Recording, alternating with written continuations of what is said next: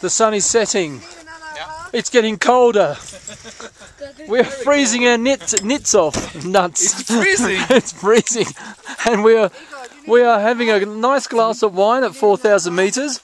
I think I'm getting drunk. Really? You will sleep better like that. Thank you very much, Rachel. And here we are with our French friends in the wonderful landscape of volcanoes and dusty, dirty sand and and poor Sarah, she wants a shower and a toilet. But anyway, it doesn't matter. We will find one one day for her.